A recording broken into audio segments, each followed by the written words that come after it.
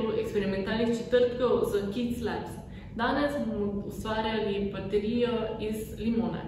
Za eksperiment potrebujemo dve vilici, limono, cinkove ploščice, žico in LCD uro. A smo pripravljeni?